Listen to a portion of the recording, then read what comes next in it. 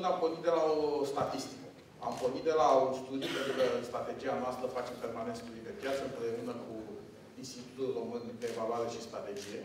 În anul 2010 am făcut o statistică și am vrut să vedem care sunt cele mai mari temere ale românilor.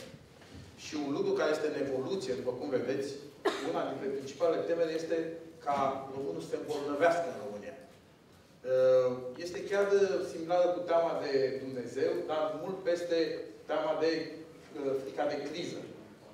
Și asta nu pentru că uh, am devenit mai ipocondri sau pentru că această temere uh, se naște din uh, grija noastră de față de sănătate, ci față de faptul că nu avem o soluție în România, nu avem o alternativă de a ne îmbunătăți starea de sănătate. Acesta este o mică parte din studiile pe care le facem. Uh, facem în permanență studii uh, de sociologie, economice și de asigurări, dar cred că acesta a fost un punct de pornire în uh, această inițiativă de a vă invita să dezbatem radiografia sistemului și diagnostic, cum bine zicea domnul Tuță, și diagnosticul sistemului medical. Mai mult, o serie de evenimente au fost foarte mediatizate. Să știți că evenimente uh, similare cu cele de la uh, maternitatea Giulești se întâmplă fiecare zi în toate instituțiile. Poate nu sunt atât de mediatizate și atât de dramatice, dar pentru cei care le trăiesc sunt la fel de importante și cred că suferințele create sunt la, la fel de profunde. Mai mult, ne-am uitat în piața de asigurări și am observat că uh, uh, riscul aferent sau activele sau primele aferente acestor tipuri de riscuri sunt foarte reduse comparativ cu toate celelalte riscuri pe care noi le preluăm ca și asigurator de viață sau asigurări de sănătate. Și pentru a veni cu o soluție concretă, pentru că l-am auzit pe domnul președinte care uh, și-a pus foarte multă cenușă în cap și fără, practic a spus, într-adevăr, poate pentru prima dată lucruri care sunt evidente, dar să știți că un necrolog nu ne ajută. Întotdeauna trebuie să venim și cu soluții alternative, poate diferite, să încercăm și ceva diferit față de tot ceea ce s-a încercat până acum. Ceea ce o să vreau să vă prezint, în primul rând să explic foarte pe scurt un lucru care este cunoscut, mecanismul, lanțul trofic al acestor bani de la contribuabil până la pacient, contribuțiile noastre de zi cu zi și o alternativă la reforma care se încearcă de atâția ani de zile. În primul rând, noi, pe, uh, noi împreună angajații cu angajatorii, plătim undeva la 10,7. 10,7 din brutul nostru. Mulți dintre voi poate știți de aici din sală cât contribuim, dar să știți că un studiu pe care l-a făcut uh, IRES, acest Institut de Evaluare și Strategie, a arătat că foarte mult, practic peste 80% din oameni nu cunosc cu cât contribuie. Nu cunosc care este nivelul contribuției, nu numai nominale, dar și în procente. Acești bani, practic, sunt contribuții obligatorii, ajung la Casa Națională de Asigurări, se decontează cu furnizorii de servicii medicale, pe baza unui tarifat, mercurial, cum se numea înainte, vă vreau să folosesc o comparație care este mult mai populară, și decontează, practic, toate uh, serviciile medicale pe care pacienții, uh, de care uh, pacienții beneficiază. Acesta este o schemă foarte frumoasă, dar în realitate are foarte mari lacune. Și alternativele sunt foarte reduse. Cum se face practic această listă de decontare? În mod normal, ar trebui să se facă pe baza unor, uh, unei list, unor uh, statistici de mobilitate. Ce înseamnă această mobilitate? Pentru cei care nu lucrați în asigurări, practic arată când, cine, și în ce proporție te îmbolnăvești pe diverse afecțiuni și cum beneficiezi de, uh, cum beneficiezi de servicii medicale pentru diverse afecțiuni. În situația reală, practic, există un management al fondurilor, un flow, un cash flow, un uh, sistem similar cu cel din pensii. Pay as you go. Pe măsură ce te îmbolnăvești, nu, nu ajungi la pensionare, primești, uh, Casa Națională se decontează cu furnizorii de servicii. Fie că sunt privați, fie că sunt de stat. Pe baza unor tarifat, a unor liste, care practic nu au nicio relevanță cu realitatea. Ele sunt mult subdimensionate. Deci, practic, ă, evaluarea riscului de morbiditate nu este primordial în această decontare. Dar, oare Casa Națională este sigură că acele activități se întâmplă? Acele decontări pentru acele Uh, servicii medicale, acele servicii medicale chiar există? sunt, am, îmi pare rău că domnul Duț a plecat, vreau să-l întreb să îmi spună dintre toate apendicitele de contate câte sunt complicate. Pentru că există o tendință a furnizorilor să aleagă din acea listă, practic, de contarea care le oferă cel mai mare beneficiu. Și normal, pentru ca să-și acopere o mare parte din costuri. Cum controlează această calitate? Mă bucur că a spus că nu există un control și greșeala recunoscută probabil că e pe jumătate iertată, dar nu ajută dacă nu găsim o alternativă de a înlocui sau de a implementa un astfel de control. Evaluarea riscului de mobilitate și managementul acestui risc se realizează în mod activ, se fac studii sau se evaluează schimbarea măcar la nivel filozofic, principial a acestor decontări? Nu cred și acest răspuns probabil că îl primim de ani de zile, pentru că starea de sănătate nu se schimbă, starea de sănătate a populației, ba din contră s-a deteriorat. Rom, uh, pacienții români, o mică parte, au găsit o alternativă. Fie plătesc din buzunar uh, și merg în sistemul privat, care este foarte redus, și am să-l adresez și pe acesta, sau chiar au găsit o alternativă și mai puțin să meargă în străinătate. Să știți că sunt spitale pe care noi suntem în contact, care în Viena există un, un centru universitar, care undeva la 400-500 de mii de euro pe lună sunt încasați în cash de la uh, pacienți români. Asta arată că uh, în disperare, cei care au o mare, mare nevoie găsesc aceste alternative, numai că dacă ne adresăm masei de asigurați în sistemul public, nu cred că această componentă este semnificativă. Care sunt punctele slabe? Practic, aceste miliarde, 4 miliarde, cum am auzit, eu am zis peste 3 miliarde, ajung la Casa Națională printr-un management deficitar al riscului de mobilitate, ajung la furnizorii de servicii uh, medicale, care oferă servicii, am spus eu, precare pentru nevoile lor, dar probabil proporționale cu banii pe care uh, acești furnizori îi primesc de la Casa Națională și ajung la aceste servicii, ajung la pacienți care, practic, cea mai mare parte este blocată în acest sistem. Este un, uh, un ciclu, un cerc vicios în care uh, serviciile nu se dezvoltă, pacienții nu primesc uh, servicii mai bune și, practic, nici, unul, nici o componentă a acestui sistem nu se îmbunătățește. Acum, s-a menționat un lucru important. Acele ghiduri terapeutice. Ghiduri terapeutice care noi, când le-am cerut ca și o instituție, am găsit vreo două. Sunt două societăți care au dezvoltat ghiduri terapeutice. Adică ghidul terapeutic este precum fișa tehnică a unei mașini. Trebuie să știi pentru fiecare afecțiune care este uh, minimum de, de uh, tratament pe care îl primești sau de uh, servicii medicale. Uh, aceste ghiduri terapeutice sunt clasificate după un nomenclator al uh, uh, afecțiunilor. Există 3002 afecțiuni, de categorii de afecțiuni, conform Organizației Mondiale a Sănătății. În mod normal, Casa Națională ar trebui să deconteze în proporție de 100%, așa cum este în momentul de față, toate aceste servicii medicale legate de aceste afecțiuni. Se întâmplă oare și există o, o astfel de decontare proporțională cu nevoia reală a sistemului? Din studiile care au fost realizate și de uh, Banca Mondială, chiar Ministerul Sănătății au avut un consultant de la Banca Mondială, prin care au arătat că undeva la 30% este acoperit. Cam 30% din nevoie, este, din risc este acoperit. Restul sunt fie acoperite de plăți informale, există de asemenea, Banca Mondială a făcut un studiu cu undeva la 300 de milioane, dar în același timp lipsa actului medical, a serviciului medical și a calității actului medical. Ce propunem?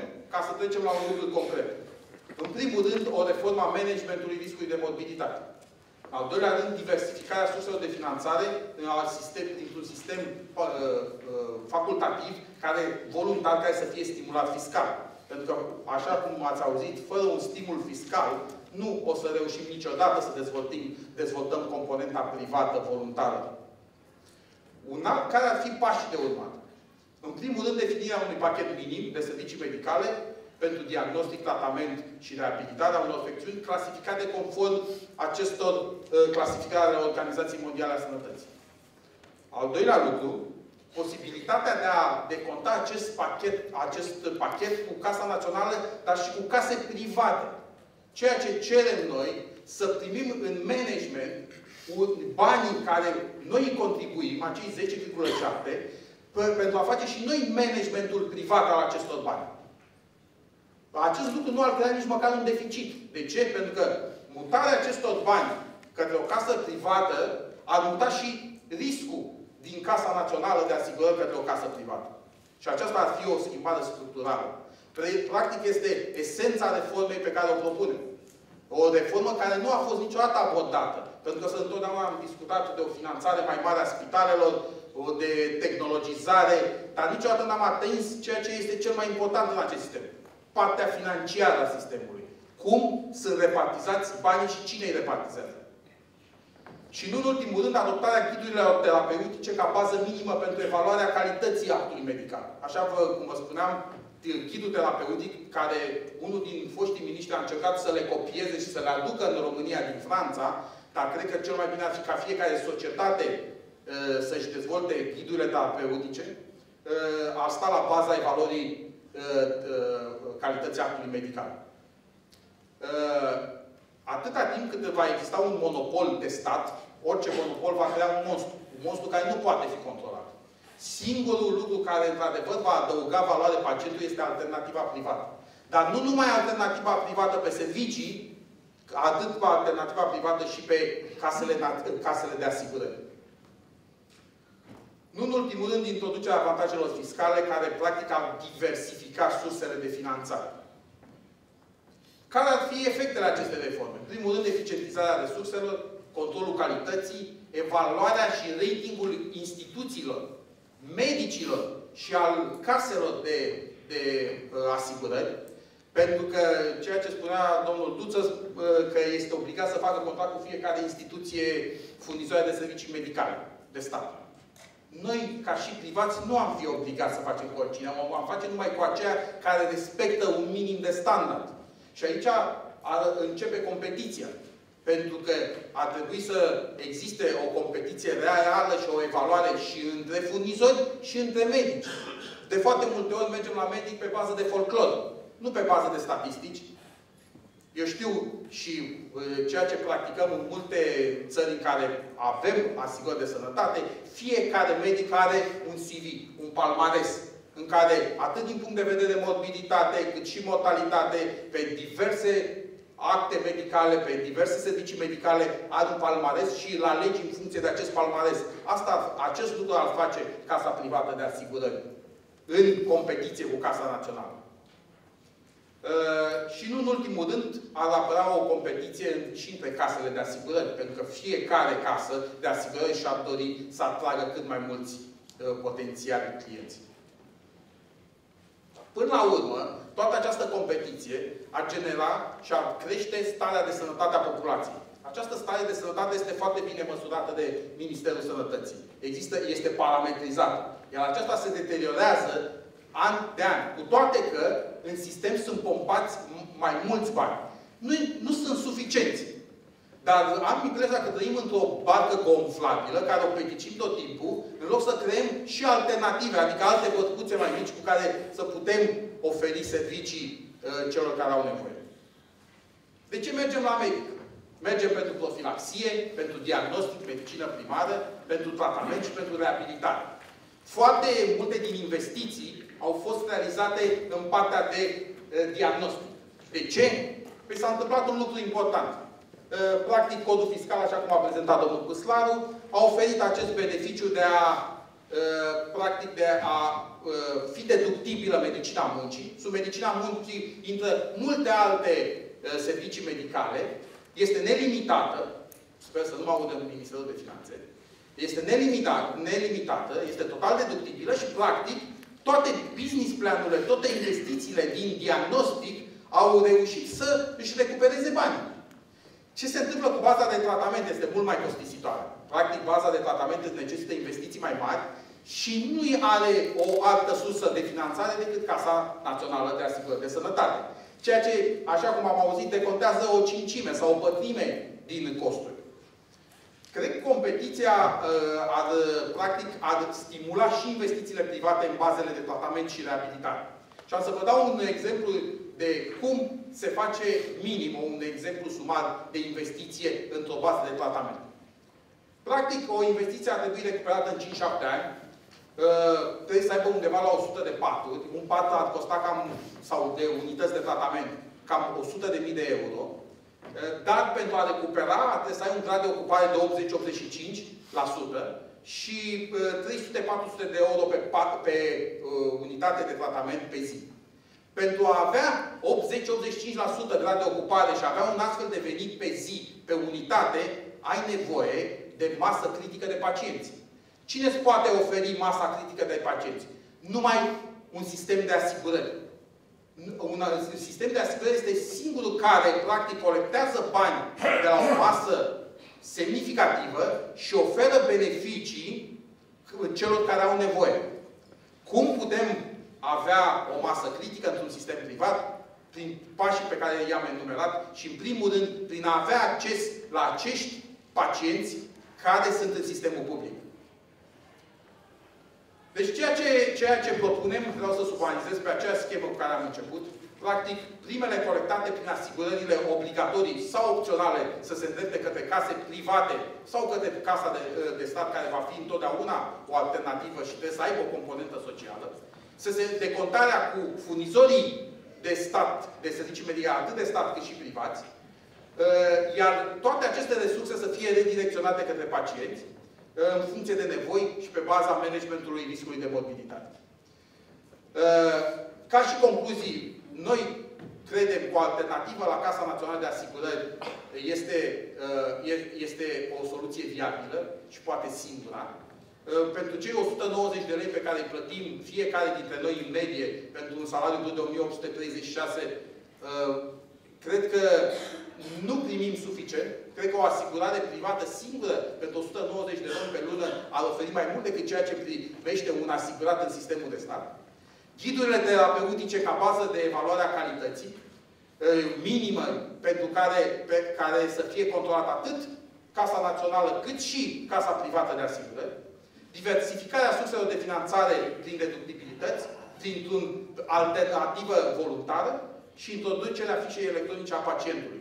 Această introducere a fișei uh, uh, electronice a pacientului cred că este foarte importantă pentru a avea un mai bun control asupra flow-ului și asupra managementului banilor intrați în sistem. Uh, sigur că și eu am o senzație de deja vu, pe care am mai trăit-o odată împreună cu domnul Șeitan în domeniul sistemelor de pensii private, unde vreo 10 ani de zile ne întâlneam ca într-un club foarte frumos, elitist, elegant, între oameni cu care am rămas prieteni, dar vreo 10 ani de zile am discutat despre necesitatea introducerii sistemului reformei de pensii sau reformei sistemului de pensii sau cum răzunat.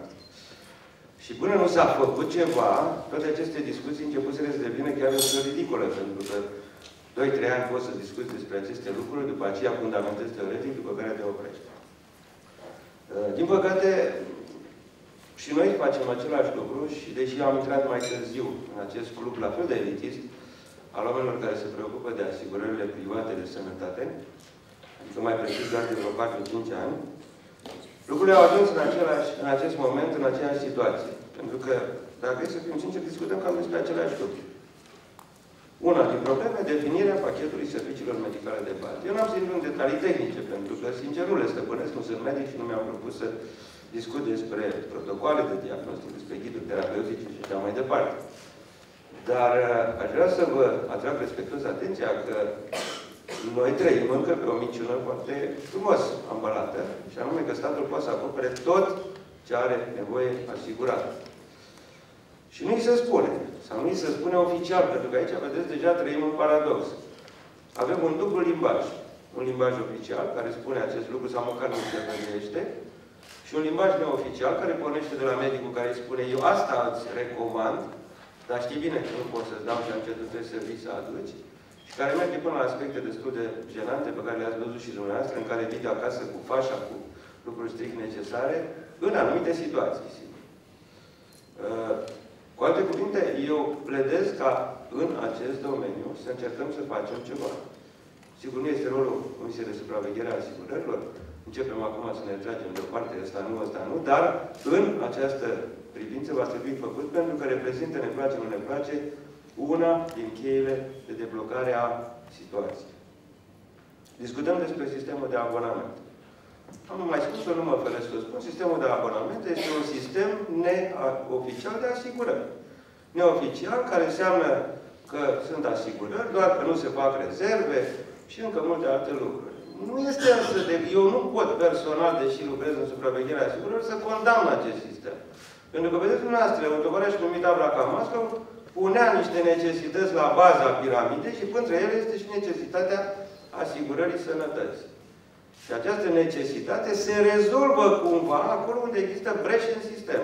Și breșa se numește în cazul nostru fiscalitate. S-a spus, nu are rost să insist, s-a găsit această breșă în acoperirea prin abonamente a serviciilor de medicină muncii și punem acolo tot ceea ce se poate pentru că omul are nevoie, pentru că există această tentație de a găsi soluții și s-a găsit această soluție. Din păcate, această soluție este o soluție contraproductivă pentru asigurări. Pentru că, așa cum s-a văzut, ne pune problema unor fonduri insuficiente și așa e realitatea. Nu să apărăm, cred că niciunul din noi, cu ideea că nu, domnule, există fonduri. Dar fonduri care intră în sistem, există. Există un interes al investitorilor și achizițiile din piața furnizorilor de servicii medicale ne spun acest lucru. Există și s-au arătat intrări de bani substanțiale în sistemul privat. Eu n-aș fi atât de sever în a distanța sistemul privat de la asigurări private, furnizori privați și așa mai departe. Din potrivă, eu cred că cheia o constituie tocmai un mixaj între asigurătorii privați și sistemele publice și private de furnizare a sănătății, pentru că e o realitate de la care pornim aceea că în privat nu avem încă furnizori suficienți care să acopere un sistem. Și ajungem la deductibilitate. O deductibilitate care, place, nu ne place, este cheia sistemului până la un punct. S-a văzut prin abonamente că orice ușiță deschisă este exploatată și, într-un anume fel, acest lucru poate debloca până la un punct sistem. Ca să nu fiu totuși de partea excesivă a asiguratorilor, aș merge și aș mai spune un lucru. Un aspect care ar putea contribui la sporirea încrederii în sistemul asigurărilor private de sănătate este și încrederea în sistemul privat de asigurări în general, care, nu vă ascund, nu este foarte mare. Și aici rolul asociațiilor profesionale din asigurări devine predominant. Există mari probleme în alte domenii, adevărat. În domeniul asigurărilor auto, dacă vreți. Probleme de despăgubiri făcute așa cum se fac, care în percepția publică afectează unde nu te trezești exact în zona asigurărilor de sănătate. Unii asiguratorii nu plătesc întotdeauna. Ori te joci cu orice, te joci cu mașina, dar nu te joci cu sănătate. Și aici cred că ar trebui un sentiment de solidaritate mai sporit între asigurători, chiar dacă unii își asigură mașina și alții își asigură sănătate. Sunt multe lucruri despre care nu vreau să vorbesc, pentru că, din păcate, așa cum am spus la început, sunt cam aceleași lucruri. Eu, cel puțin, le-am recitat de vreo 5, 6, 7 ori în ultimii ani. Colegii care participă au făcut același lucru. Cred că momentul de față este un moment în care, așa cum s-a spart la un moment dat buba și s-a încercat ruperea nodului în pensii private, ar trebui să lucrăm și în domeniul sănătății.